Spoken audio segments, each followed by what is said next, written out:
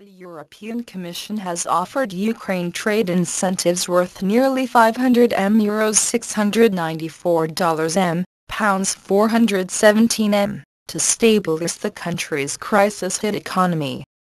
Commission President Jose Manuel Barroso said import duties would be cut on some Ukrainian goods. It is part of efforts to sign a key deal ditched by the now ousted President Viktor Yanukovych last year. The move triggered mass protests.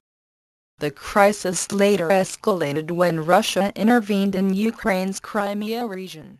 The European Commission has offered Ukraine trade incentives worth nearly 500 m euros 694 dollars m, pounds 417 m, to stabilize the country's crisis-hit economy.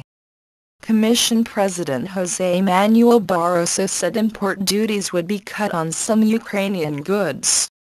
It is part of efforts to sign a key deal ditched by the now ousted President Viktor Yanukovych last year. The move triggered mass protests. The crisis later escalated when Russia intervened in Ukraine's Crimea region. The European Commission has offered Ukraine trade incentives worth nearly 500 m euros 694 dollars m, pounds 417 m,